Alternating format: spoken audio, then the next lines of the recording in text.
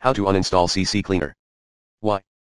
Possible reasons, corrupted client, unwanted installation, more, b. How? Solution number 1, perform the uninstallation process manually. Step 1, gain admin access. Step 2, exit target app, get related info like installation folder, and associated background processes. Step 3, start the standard uninstall routine.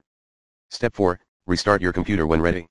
Step 5, optionally clean related projects, components, or software remains. Follow me, exactly. See solution number 2, try the recommended uninstall tool pro in the description area, if this removal guide fails to work. Tip, please PM me if you need further assistance.